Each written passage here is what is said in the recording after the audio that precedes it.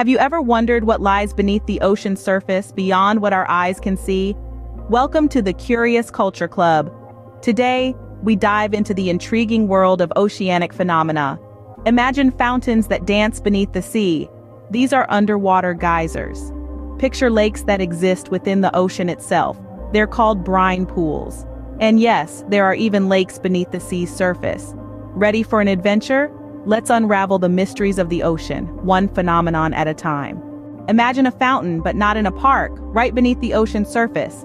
That's an underwater geyser for you. These natural wonders, also known as submarine hydrothermal vents, are openings in the ocean floor where heated mineral-rich water gushes out. Notable examples include black smoker geysers, found in the Atlantic and Pacific Oceans. These vents release dark clouds of mineral particles giving the impression of billowing smoke. Another fascinating one is the Lost City hydrothermal field in the Atlantic, renowned for its towering white limestone spires. But how do they form? Well, when seawater seeps into the ocean floor near volcanic regions, it gets superheated by the Earth's magma. This scalding water, laden with minerals, then rushes back to the surface, resulting in an underwater geyser. These geysers are not just geological marvels, they also host unique ecosystems. The superheated mineral-rich water creates a habitat for extremophile organisms, creatures that thrive in extreme conditions. It's a world of tube worms, giant clams, and eyeless shrimp, all surviving without sunlight. But the significance of these geysers goes beyond hosting extraordinary life. Scientists believe that these deep-sea vents might have been the cradle for life on Earth, providing the right conditions for the first organisms to evolve. Underwater geysers, the ocean's very own fountains, are a remarkable testament to the dynamic nature of our planet. So next time you marvel at a park fountain, remember that there are even more spectacular fountains beneath the waves. Ever heard of a lake within the sea? Meet brine pools. These intriguing phenomena are essentially underwater lakes found at the bottom of our oceans. Brine pools are areas of water so saturated with salt that they become denser than the surrounding seawater, forming distinct lake-like bodies beneath the ocean's surface. One of the most famous brine pools is the Jacuzzi of Despair in the Gulf of Mexico, a poetic name for a sinister reality. This pool is so saturated with salt and toxic chemicals that it can be lethal to many marine species. Yet, in this inhospitable environment, life finds a way.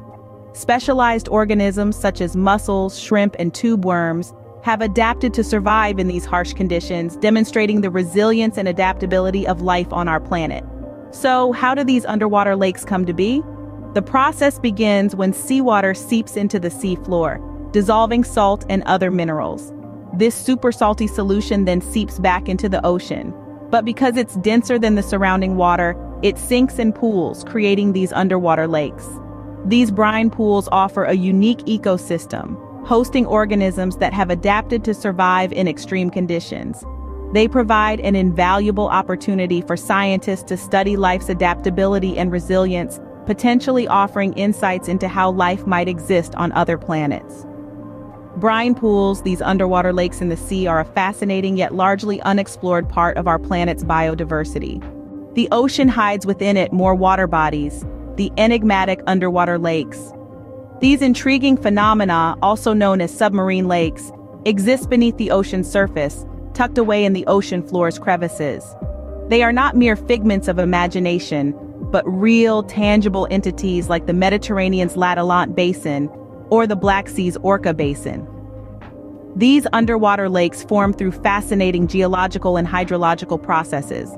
When seawater seeps into the sediment below, it mixes with salt deposits, creating a super saline solution. This solution, denser than the surrounding ocean water, pools into depressions, forming underwater lakes. But why should we care about these hidden water bodies? Well, underwater lakes are vital to marine ecosystems.